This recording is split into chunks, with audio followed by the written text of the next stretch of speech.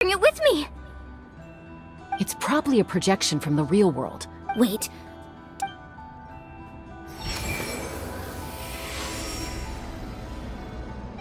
That was a bold move. Diving headfirst into the fire to save your f- Still, seeing you pull it off. Everything you said was, it took years worth of the Pyro Arc. Only then. Tupac, a warrior from the people of the- I've heard that name before. Since you were able to awaken my words from you under the name Umoja, you sh- Me? as long as blood still, its blaze will become even amid everlasting darkness. Our bonds remain eternal.